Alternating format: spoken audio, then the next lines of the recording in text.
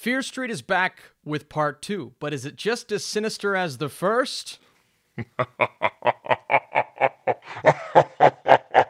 this one time at band camp. What is up, Netflix fans? Welcome back to my channel. We're talking the brand new movie or show on Netflix every weekend, and this time it is part two of Fear Street 1978. We're going to talk about it spoiler free. Let's do it. So, in part two, Shadyside, 1978, school's out for summer, and the activities at Camp Nightwing are about to begin.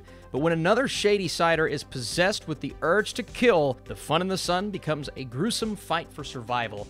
And this is your classic camp slasher. We've seen a plethora of examples, but is this film able to capitalize not only on the hype, but on the thrills and chills of the first movie. We'll start with the fact that there is a nice sense of atmosphere in this film. One that carries over from the first, absolutely, but since we're going back in time and we got that tease at the end of the first film, it has to feel more 70s and down to the interactions between our characters have to feel just a bit different and adjusted to fit the period and they do a great job of that. They also do a great job of building up a few of these characters, not all of them necessarily, to kind of fit the trope that you expect have the relationships. One character in particular, she's kind of shunned. Well, actually, there are multiple characters that are kind of outcasts in this movie, but most of the time, the outcasts have a bit of a leg up on those that are considered the cool kids, and that is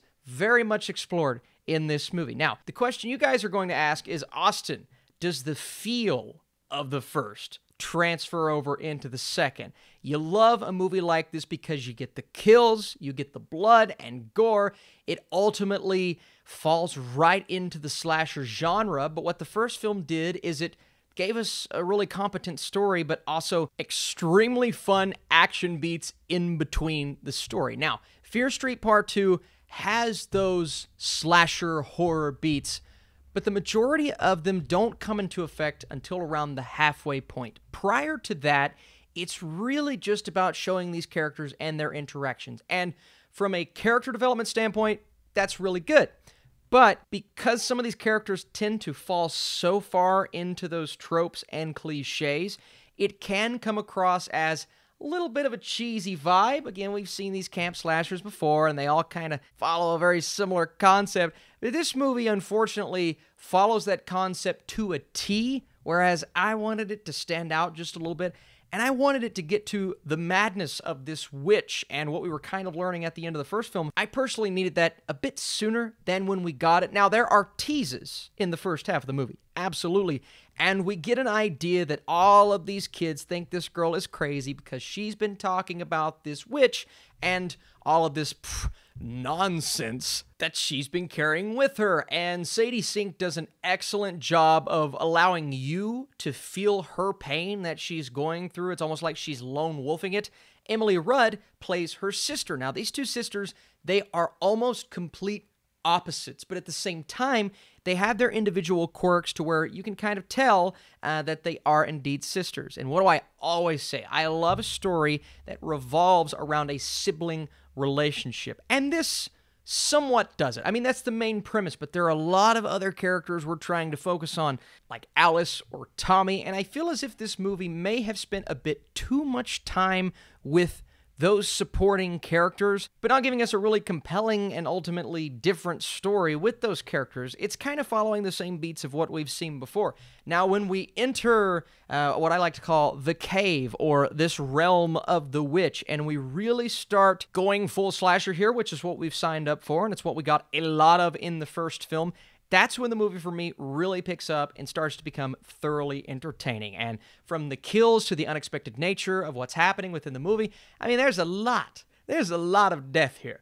And one thing I love about this franchise is don't get too attached to these characters because it is not afraid to just rip them out from underneath us. And I'm okay with that. I love when a movie can play with your expectations and build up someone for so long. I do think a bit too long in this second movie, uh, but for so long and then just take them away from you. And I thoroughly enjoy that. It also does, uh, and I won't say when or how, it does a bit of a bait and switch in the third act, and I appreciated that as well. again, it's just the struggle trying to get through the first, maybe halfway into the second act of this movie because they are really focused on the relationships and just your familiarities with the genre. And that's something I was really hoping they would stay away from. And there are familiar tropes in the first movie, absolutely. But the first movie goes slasher and then lets up, slasher and then lets up. And it's kind of one after another going back and forth between the relationships and then the horror. This movie, we start getting the good stuff, uh, but it may be too late. I, I, feel like some people will check out. I will also say that it sets up some great things for the third film, and the third movie really gave me uh, The Witch vibes, and that's kind of the exact thing that I think they need to do in the 1600s. And hopefully it will be less cliche because of that time period. I will say for me personally, it was more of a mixed bag than the first, but I think a lot of fans of the genre may even prefer this one because of the setting and the time period. Part 2 takes a bit to get there, but it ultimately delivers on its promise of providing plenty of thrills and gore. Before I give you guys my score, thanks so much for watching. If you want to drop this video a thumbs up button and get prepared for the third entry, that will be coming next week. I'm going to go a 62% for my score. Again, a competent slasher on Netflix. This franchise is proving to kind of deliver on that promise. And like I said, just do not get attached to a lot of these characters. And if you are looking for gore and like hard R rated content in a movie like this, it delivers on that absolutely. So let me know down below which movie is your favorite so far. Are you looking forward to this and part three? And again, thank you guys for watching Fear Street. More of it is coming. And later on, we have a spoiler review for Black Widow. All right, guys, see you soon.